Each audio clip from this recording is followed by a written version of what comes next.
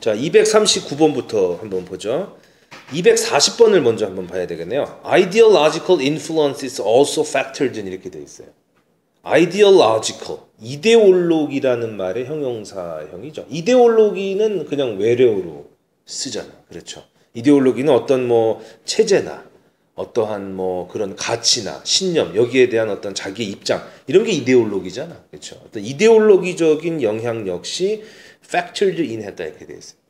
지금 이 위치적으로 볼때 팩터가 동사로 쓰인 거는 자명합니다. 그렇죠. 그래서 사전에서 우리가 팩터를 찾아보니까는 사전에 여러분들이 만약에 집에 가서 팩터를 찾아보면은 이렇게 돼 있을 거예요. 타동사로는 인수분해하다라는 뜻이 있고요. 자동사로는 채권을 금융 목적으로 매입하다. 여러분 지금 쓰고 있는데 전혀 쓸 의미가 없는 예. 인수분해하다, 채권을 매입하다. 이게 팩터거든. 근데 지금 여기서는 뭐예요? 어떠한 현상의 여러 가지 원인과 배경을 설명하는 데 있어서 이데올로기적인 영향력도 그 중에 하나였다. 라는 얘기잖아. 그럼 우리가 알고 있는 팩터가 요소라는 얘기지. 그러면 요소화되어서 들어갔다, 주요 요소가 되었다 이런 얘기잖아. 이렇게 단어의 주요한 의미, primary meaning에 대한 자기만의 어떤 응용력을 가져야 되는 거지. 기계적으로 사전에 의존하는 게 100% 해결해 주지는 않는다는 얘기예요. 그렇죠? 어. 다시 얘기해서 고등학생에게 낸 시험이지만 여기서의 팩트의 의미는 사전에 명시가 돼 있지 않아요. 그러니까 우리는 어떨 때는 사전을 넘나드는 실력도 갖고 있어야 되는 거야. 따지고 보면. 그렇지? 그러니까 유연성이 필요하다 이런 얘기죠. 그래서 어떠한 소재를 설명하는데 우리가 어, 읽게 될 그 지문에서 이데올로기진 이데올로기적인 영향력도 거기에 들어가게 됐는가를 한번 생각해 보면서 The first experiment in television broadcasting 아 여기 나오네요. 그렇죠. TV 방송의 최초의 실험. 그러니까는 뭐야? 초창기에 TV가 어떻게 생겨나게 됐고 이렇게 됐냐 이 얘기를 하고 있잖아. 그렇다면 아마 우리가 241번도 초기의 TV 방송에 대한 얘기겠죠. 그러면 초기라고 하는 말이 여러분 241번에 어디 있어요? In its infancy라는 말이 있죠. infancy는 유아라고 하는 그런 얘기죠. 그래서 in its infancy 하면은 유아기 시절, 초창기 시절의 TV다. 이렇게 될 수도 예, 있고요. 아직은 안 읽어봤으니까 우리가 조금 더 보겠어요. 자, 최초의 TV 실험은 began in France in the 1930s. 아, 그래서 TV의 실험이 가장 먼저 일어났던 것은 프랑스였습니다. 하지만 the French were slow to employ the new technology. 프랑스는 그 새로운 기술을 employ, 이용하는데 에, 느렸습니다. 그걸 적극적으로 활용하지 않았다는 얘기죠. There were several reasons for this. 자, 느렸다 그랬죠. 느렸으니까 뭐라 그랬어? 주저와 머뭇거림, hesitancy가 되겠죠. 그래서 프랑스가 자기들이 개발한 TV 방송의 기술을 주저했던 이유가 무엇이냐? 그 중에 하나가 240번이었겠죠. 이데올로기적인 요소도 있었다는 얘기죠. 자, 그 첫 번째 이유는 본문으로 돌아와서 네 번째 줄에 Radio absorbed the majority of state resources. 그 당시는 뭐가 유행했어요? 라디오가 국가 resources 자원의 대부분을 흡수했다. 이 얘기는 뭐예요? 국가의 역량을 라디오에 다 쏟아부었다. And the French government was reluctant to shoulder the financial burden. 프랑스 정부가 재정적 부담을 shoulder 역시 동사로 봐야 되겠지. 어깨에 짊어지기를 reluctant 꺼려했다는 얘기죠. Developing national networks for television broadcasting. 그렇죠. TV 방송을 하려면 국가적인 네트워크를 만들어야 되겠지. 또 다른 비용이 생기니까. 텔레비전 프로그래밍 cost were too high. 그 다음에 초창기 시절이니까 TV 프로그램을 하나 만드는 cost, 비용이 얼마나 높았겠어요. 비용이 높다 보니까는 프로그램 아웃풋, 프로그램의 산출, 생산, 프로그램의 제작도 그에 상응해서 그에 따라서 이때 쓰는 말 잘 알아두세요. correspondingly. 잘 쓰는 부사어죠. 자, 제작 단가가 높다 보니까는 그에 따라서 어, 제작의 어떤 산출량, 어떤 제작의 양, 에, 제작 작품도 에, 낮게 되었다. 그러다 보니까는 사람들에게 poor distribution이 되겠어요, poor description이 되겠어요. combined with minimum offering 금방 나왔던 minimum offering 최소의 공급이야. 배급량이 작아. 최소의 공급과 결부된 그것과 연관된 사람들에게 공급이 없으니까 사람들에게 형편없이 나가게 된 것은 뭐야? 배포가 안 됐겠죠. 디스트리뷰션은 provide little incentive, 동기를 부여하지 못했습니다. to purchase the new product. 사람들로 하여금 그 새로운 제품을 사야 되겠다는 동기를 부여하지 못했다. further, 게다가 television sets were priced, priced 가격이 beyond the means of general public. 일반 대중의 means, s 들어가야 되죠. 수단이 아니라 여기서는 능력이죠. 일반 대중의 능력을 넘어 있었는데 whose 일반 대중의 modest living standard 여기서는 겸손하다라기보다는 그냥 뭐 대단치 않은 생활 수준 especially in the 1930s and 1940s 3, 40년대에 did not allow the acquisition of luxury goods 사치품의 획득을 허용하지 않았습니다. Alice in particular were optimistic, skeptical. 지금 TV가 도입이 안 된 얘기니까 skeptical 쪽으로 가야 되겠죠. 그래서 사회 지도층이죠. 엘리트 계층들도 특히 회의적이었다. skeptical. perceiving it. 그것을 messenger of mass culture. 대중문화와 Americanization. 물론 뭐 조금 알면 도움이 되겠지만은 프랑스하고 미국이 사이가 별로 좋지 않았죠. 그렇죠. 그래서 미국화의 어떠한 그 메신저, 사자, 전달자로 간주했던 것이다. 이렇게 된다면은 아, 이거는 미국의 대중문화가 들어오는 것이다. 그러면 우리가 아까 240번에 어떤 이데올로기적인 영향력이다. 미국의 자본주의의 영향이 들어온다. 뭐 이렇게 생각할 수 있다면 이것은 어디에 들어가야 될까요? 5번에 들어갈 수가 있겠지. 그렇죠. 그래서 정답이 2번. 그 다음에 5번. 자, 글의 제목을 한번 보자고. 첫 번째, TV 세트. 여기서 얘기하는 TV 세트는 우리가 텔레비전 그 자체, 텔레비전 수상기라고 얘기하는 거거든.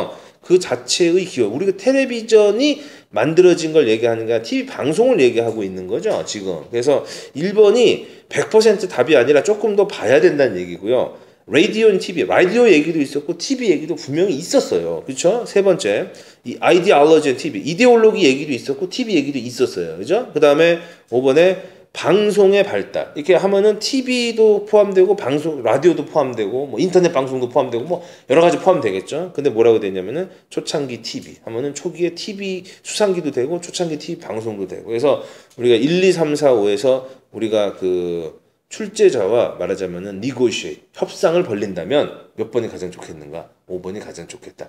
객관식은 꼭 이렇게 풀어줘야 된다 이 말이지. 알겠지? 나머지가 100% 오답이다 이런 얘기가 아니라 자, 그 다음에 242번으로 한번 가보자. 자, 바이올린 줄의 그림에 관한 글의 내용입니다. 자, 우리 그림이 두 개 있고요. 이게 바이올린 줄이라고 얘기했으니까 우리 줄을 갖다가 우리 현악기에서 얘기하는 string이라고 얘기하죠. 줄이 string인데 그 줄의 한 단면을 확대해서 예, 똑같은 양쪽 화살표로 작용하는 힘을 텐션, 긴장이 아니라 물리학에서는 장력이라고 하죠. 그래서 줄이 이렇게 곧게 돼 있을 때는 양쪽으로 당기는 힘이 똑같으니까는 그로 인해서 발생하는 net force 합력이 제로다 이 말이지. 근데 오른쪽 그림에서 약간 휘어 있으니까는 힘은 똑같지만은 휘어 있음으로 해서 약간의 합력이 발생하죠. net force가 발생하죠. 이런 차이가 있고요. 여러분들 미리 풀어 왔으니까 오른쪽 그림에서 이런 net force 때문에 다시 돌아가려고 하는 힘이 발생해서 공기를 진동해서 바이올린이 소리가 나게 된다라는 그런 글이었단 말이야. 그렇죠. 빨리 볼게요. A violin creates tension in its strings. 줄의 장력을 발생시키고 give each of them 그것들에게 equilibrium shape. equilibrium, equal이 보이죠? 예, 균등한, 평등한, 동등한 예, 형태를 부여합니다. 자, 그것이 바로 a straight line이죠. A tight violin string can be viewed as composed of many individual pieces. 그래서 그 현을 보면은 individual pieces. 여러분 그림을 한번 보세요. 그 줄이라고 하는 게 마디 마디 마디가 연결돼 있는 거죠. That are connected in a chain. 연속으로 체인 속에서 연속이다 이 말이에요. As in the above two figure. When the string is straight as in figure 1. 그림 설명할 때 가장 상투적으로 쓰이는 문구죠. When 어쩌고 저쩌고 as in figure 1 이런 것들. 그러니까 지금 여기서 여러분들이 우리가 영작을 고등학교에서는 뭐 대놓고 시험 보지 않지만은 사실은 when in 이런 말들이 굉장히 중요한 거예요. 사실은 이런 것들이 글을 써나갈 때. 그래서 그림 1번에서 이 현이 똑바로 되어 있을 때 its tension is uniform. 그 장력이 uniform 일정하다 이 얘기예요. 그러다 보니까 two outward forces on a given piece. 두 개 바깥으로 나가는 힘이 sum to zero다. net, zero net force 위에 있었죠. 그렇죠? They have equal magnitude. 똑같은 크기를 가지고 있으며 point in opposite direction. 정확하게 반대 방향을 가리키고 있습니다. 그렇죠? 그래서 우리가 그 sum to zero라고 그랬으니까 243번에 with no net forces acting on its piece 거기에 net force가 없다 보니까 스트링은 equilibrium 평형의 상태를 유지하게 되는 것이다. 이 내용을 설명을 종합하는 것이 바로 243번이 되겠지. 그래서 243번을 C번에 넣고 어, 본문으로 돌아가 보면은 but when the string is curved 해가지고 그림이 다시 오른쪽으로 가는 거죠. 그래서 243번은 왼쪽 그림을 정리한 그런 문구로 판단을 한다면은 C번에 넣는 게 합리적일 것 같고 자 다시 본문으로 돌아와서 but when the string is curved as in figure 2 그렇죠? 또 써있죠. when as in 그림 이처럼 휘어져 있으면 The outward forces on its piece is no longer sum to zero. 더 이상 sum to zero가 아니다. Although the strength uniform tension. 자 바깥으로 작용하는 힘은 똑같아요. 여전히 give those outward forces equal magnitude. 똑같은 힘을 주지만 they now point in slightly different direction. 이제는 약간 다른 방향을 가리키고 있습니다. 따라서 each piece experience. 그래서 에, zero net force가 아니라 약간의 net force를 경험하는 거죠. 여러 가지 정답이 있겠지만은 zero는 아니다 이런 말이죠. 그래서 zero를 갖다가 우리가 small이라는 단어로 한번 바꿔보고요. The net forces on its pieces are restoring force. 그래서 여기서 그림 B에서 발생하는 이런 힘은 restoring force, 돌아가려는, 회복하려는 복원력이라 그러고, which will cause the string to vibrate. 그것은 현으로 하여금 진동하게 해서 make sound, 소리를 만들어내게 되는 것이라는 얘기죠. 그래서 바이올린에 관련된 어떤 물리학을 설명하는 그런 글이고, 내가 늘 얘기하지만 우리가 인생을 살아가면서 바이올린의 현이 어떠한 식으로 해서 소리를 나게 될지에 대한 바이올린이라는 악기의 물리학에 대한 그 얘기를 친구들하고 부모님들하고 할 일이 없죠. 그리고 이걸 갖다 우리가 찾아서 읽지 않는 읽지 않는다면 읽을 일도 없죠. 그러니까 수능에 나오는 지문은 다 독특한 지문이라고 생각하면 돼. 배경 지식도 필요 없는. 그렇죠? 나도 이 문제를 만들면서 이 지문을 처음 읽었어요. 이 내용 처음 알았거든. 그러면은 우리 244번에 보니까는 1번 The way a violin make sound. 바이올린이 소리를 내는 방식이다. 1번 답이 괜찮은 답이고요. 두 번째, physics in musical instrument. 악기에 있어서의 물리학이다. 2번이 괜찮은 답인데 1번한테는 깨진다 이 말이지. 왜? 2번에 뭐가 빠졌어? 바이올린이 빠졌잖아. 그렇죠. 그래서 우리가 정답을 1번으로 선택할 수 있다. 이런 얘기 되겠죠. 차례로 정답이 5번, 3번, 1번이 되겠어요.